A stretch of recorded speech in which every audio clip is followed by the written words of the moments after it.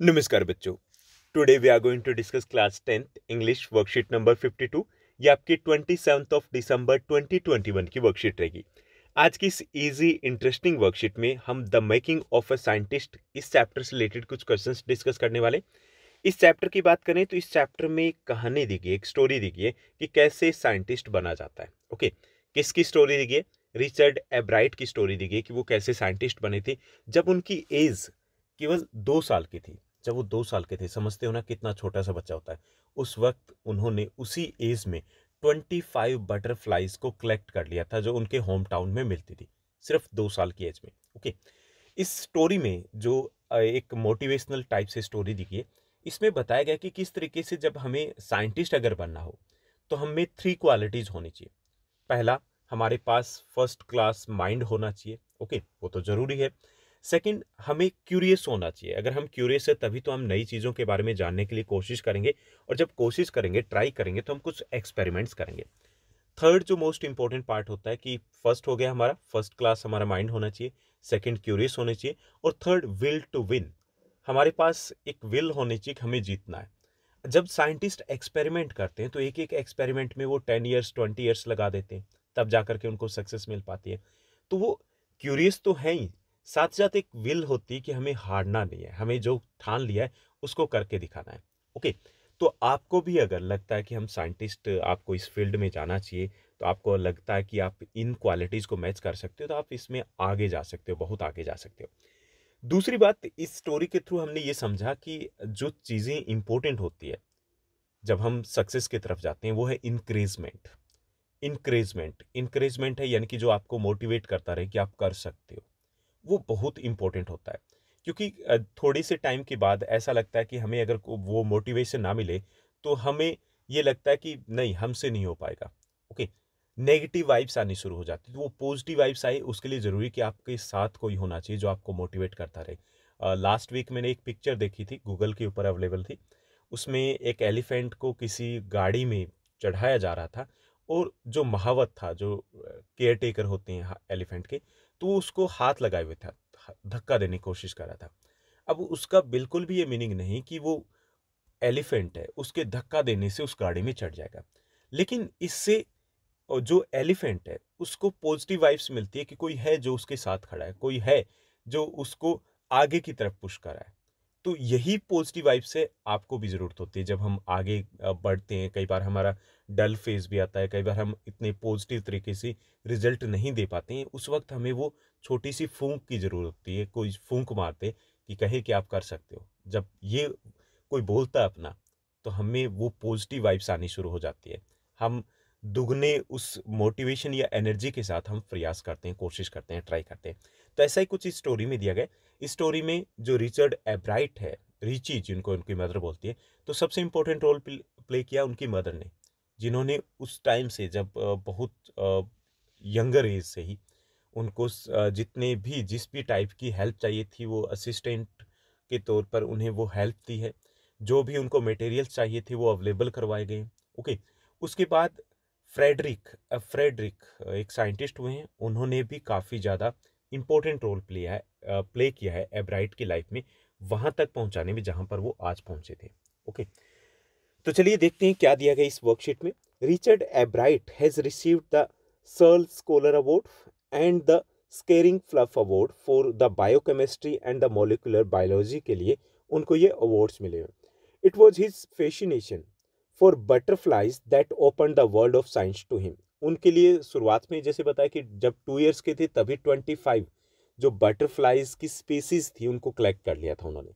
तो उनका जो फैसिनेशन था बटरफ्लाइज को लेकर के, उसी ने उनको साइंटिस्ट बना दिया था। अब इसी से रिलेटेड कुछ क्वेश्चंस दिए गए। क्वेश्चंस देखिए, यहाँ पे टोटल फोर क्वेश्चंस दिए गए जिनको हमें सॉल्व करना है। इसमें से फोर्थ जो हमारा क्वेश्चन है, उस पर हमारा एनालिटिकल पैराग्राफ है, वो हमें राइट करना होगा। तो चलिए इनको सॉल्व करते हैं।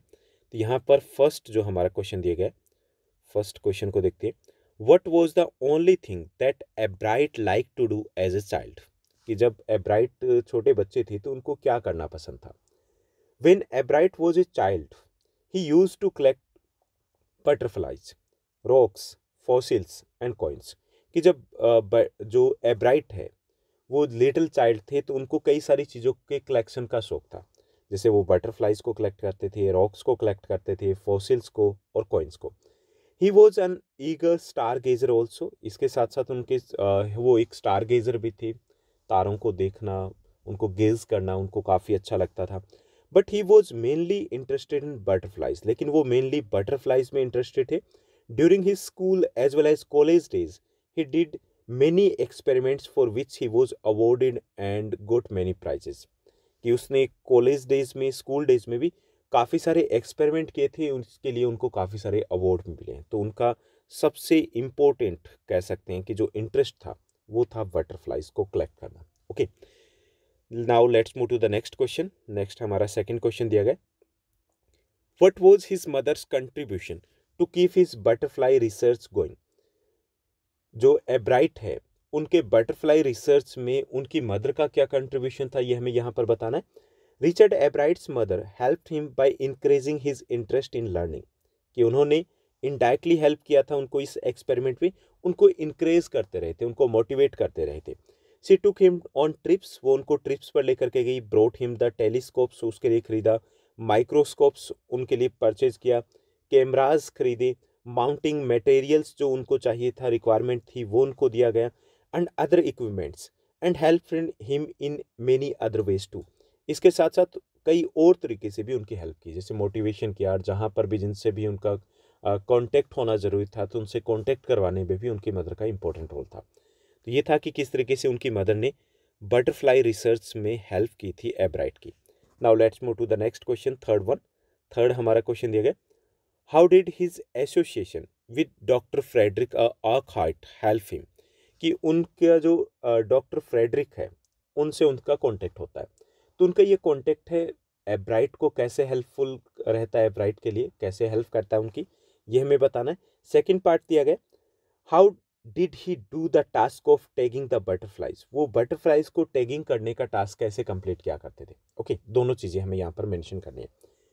Doctor Frederick was a scientist and teacher at the university of Toronto doctor Frederick थे वो एक साइंटिस्ट थे और एक टीचर थे टोरेंटो यूनिवर्सिटी में कहाँ? कनाडा में। He was doing research on butterflies migration वो बटरफ्लाई माइग्रेशन के ऊपर एक रिसर्च कर रहे थे। Ebright sent him many tagged butterflies for his research work और उनके रिसर्च वर्क के लिए एब्राइट ने काफ़ी सारी टेक्ड बटरफ्लाइज को भेजा था। Okay Richard Ebright look to him for fresh idea and suggestions इसके साथ साथ रिचर्ड एब्राइट है, उन्होंने उनको एक लेटर राइट किया था और उसमें उनसे रिक्वेस्ट की थी कि उन्हें कुछ फ्रेश आइडियाज़ या फिर सजेशन दिया जाए जहाँ पर वो रिसर्च कर पाए। तो उनको फ्रेश आइडिया जो सजेशन थे, वो इन्हीं डॉक्टर फ्रेडरिक से मिले थे। एप्राइट वुड केच ए फीमेल मोनार्क, यहाँ पे सेकंड पार्ट में हमें बताना है कि वो टैग कैसे करते थे बटरफ्लाइज को। Ebright would catch a female monarch and take her eggs कि वो एक फीमेल मोनार्क को पकड़ते थे और उसके एग्स को ले लेते थे। He would raise them in his basement अपने बेसमेंट में उनको रेज करते थे from egg to caterpillar to pupa to adult butterfly तक सारी प्रोसेस वो अंडर ऑब्जर्वेशन किया करते थे।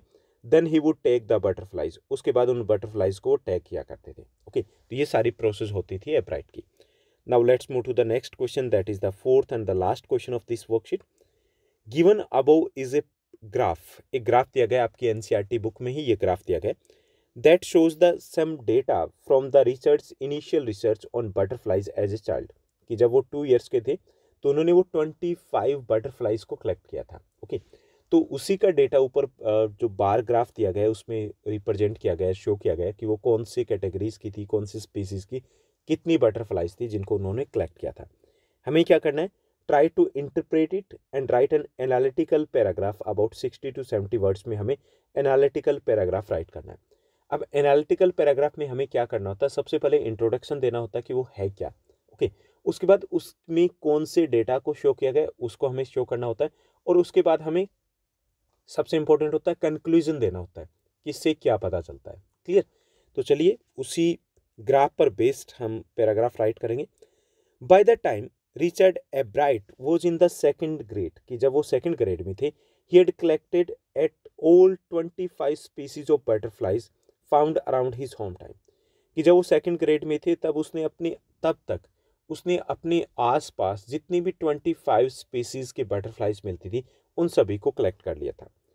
He collected highest ten butterflies of the brush footed जो स्पीसीज थी उसकी कलेक्ट uh, की थी जो ऊपर डेटा दिया गया उसमें देखिए सबसे ज़्यादा मैक्सिमम टेन बटरफ्लाइज थी। वो ब्रश फुटेड जो स्पीसीज थी उसकी थी। Eight butterflies of the gossamer winged species थी उसकी थी सेकंड हाईएस्ट थर्ड हाईएस्ट थी third of white and the sulphurs जो स्पीसीज थी उसकी थी। Two of the wood nymphs and one each of Monank and the snout species की थी। यानी कि इसमें अगर देखा जाए तो हाईएस्ट नंबर ऑफ़ बटरफ्लाइज जो कलेक्ट की गई थी, वो थी ब्रश फुटेड स्पीसीज की और लीस्ट नंबर ऑफ़ बटरफ्लाइज थी, वो थी वन ईच ऑफ़ मोनाक एंड द स्नाउट स्पीसीज की। It shows that Monank and snouts species were rare in his in his home town इससे ये पता चलता है कि उसके होम टाउन में मोनाक और स्नाउट्स जो स्पीसीज थी, वो सबसे कम थी। And brush footed species were common among all, और ब्रश फुटेड थी, वो सबसे ज़्यादा कॉमन थी वहाँ पर। ओके? तो ये था ग्राफ जिसको हमें यहाँ पर एनालाइज करना था। उसको एक तरीके से डिटेल में हमें बताना था कि उस ग्राफ में क्या शो किया गया। तो ये थी हमारी आज की वर्कशीट, जो काफ़ी ईजी थी, आई होप। सब कुछ आपको अच्छे से समझ में आया होगा। अगर आपको ये वीडियो, ये वर्कशीट अच्छी लगी तो इस वीडियो, इस वर्कशीट को लाइक और शेयर ज़रूर कीजिएगा। आज के लिए बस इतना ही। Thank you bye bye have a nice day